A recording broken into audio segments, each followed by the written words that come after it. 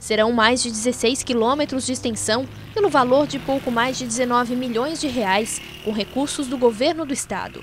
A rodovia, que faz parte do projeto Serra Mar, vai ligar o município de Pedras Grandes a Orleans. Consta no documento que a obra vai passar pelo centro da cidade. Quando foram informadas da localização, lideranças do município começaram a considerar os riscos. Com certeza, é, saindo essa rodovia Serra Maia, tá, o movimento vai aumentar e muito.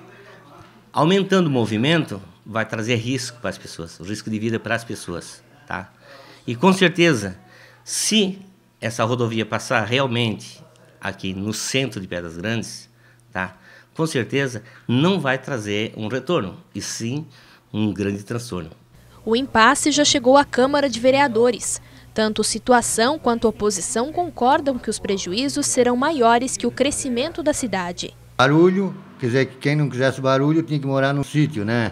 Não teria na, numa cidade.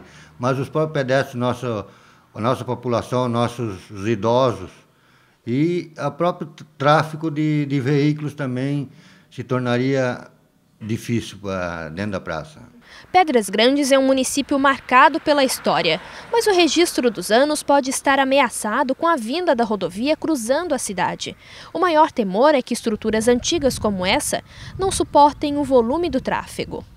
A antiga estação de trem, hoje Casa da Cultura, recebe turistas de todo o estado. O Clube 12 de Outubro completou o centenário há quatro anos. Assim como as duas construções, a maior parte das obras históricas margeia a estrada e pode ser comprometida. O DEINFRA chegou a sinalizar uma possibilidade. Seria então construído um anel viário passando ao lado dos limites da cidade. Eu acredito que essa opção seria a melhor, mais viável. Por quê? Por essa questão de transtorno ou retorno, tá? E o risco das pessoas. Muita gente vai ficar tranquilo, porque vai tirar esse transtorno que passa por dentro da cidade, esse, esse barulho, a fumaça e o próprio trânsito, né, que isso vai ficar um trânsito intenso.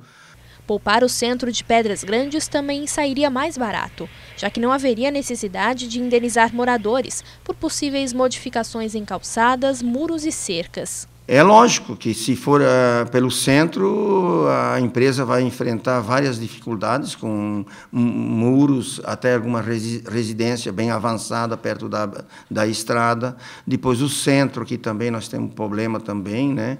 E, é, com a ponte que está hoje no local ali, ela não sei se ela vai suportar todo esse peso, que essa, esse trânsito que vai cruzar aí todo dia, né? Na presença da nossa equipe de reportagem, o prefeito Antônio Felipe entrou em contato com o responsável pela empresa Castelar, a vencedora da licitação, e sondou a possibilidade da alteração no projeto.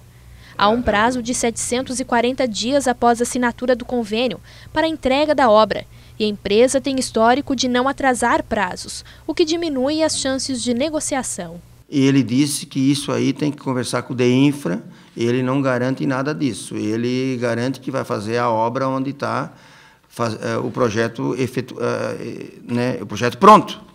Mas tem possibilidade, às vezes, de mudar. Nós vamos conversar, mas isso a gente não garante. A obra foi liberada em gestões anteriores. Coube ao atual prefeito apenas brigar para que o projeto saísse do papel. Quando assumiu a administração pública em 2009, detalhes da construção, como a localização da rodovia, não estavam mais em discussão. E aí nós fomos lá no DEINFRA, pedimos o projeto, o projeto estava pronto, o engenheiro do DEINFRA mostrou todo o projeto, inclusive dos proprietários, começa da ilhota, do primeiro proprietário até o último em Orleans. Então o projeto está tá já pronto desde as gestões anteriores.